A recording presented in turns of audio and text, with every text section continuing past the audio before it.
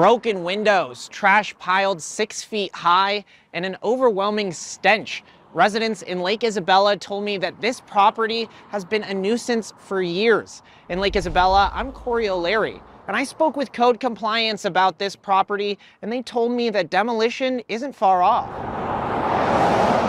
There's a lot of new people that have come here that have started businesses and they really want to bring Lake Isabella back and they want to get it flourishing again.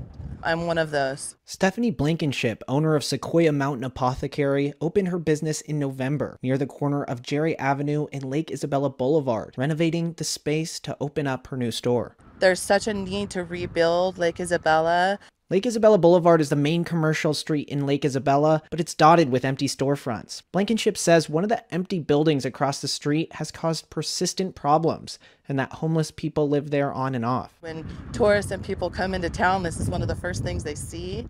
And I put myself in their position and I go, oh my gosh, I don't know if I'd want to shop at this store right across the street. The building is filled with trash, windows are broken, and the structure is dilapidated. Blankenship says she believes this building is a public safety hazard. I've actually been three fires in that building. She's been talking with code compliance. Recently there was a fire, so now we've changed our focus to demolition. Al Rojas, code compliance manager for Kern County, says they've been aware of the property since 2020. They've had six cases since then related to the property and have cleaned it up six times. The owner has not been responsive to any of our notices. Rojas told me code compliance is in charge of bringing properties that violate the ordinance code into compliance, and that demolition is one of the final measures they will take. Since the property has become a hazard, code compliance has already started that process. We've completed our title search. It's a matter of notifying all lien holders for the property. Once that time has expired, I believe we're halfway through it, so probably in another two weeks, then we can solicit bids to demolish the structure.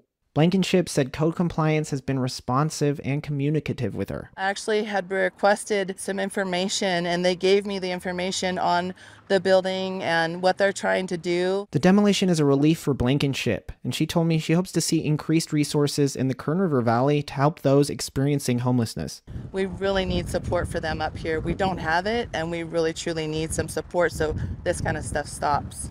Rojas told me that roughly 25% of abandoned buildings in Kern County that have code violations have owners that aren't local. In Lake Isabella, I'm Corey O'Leary, your neighborhood reporter.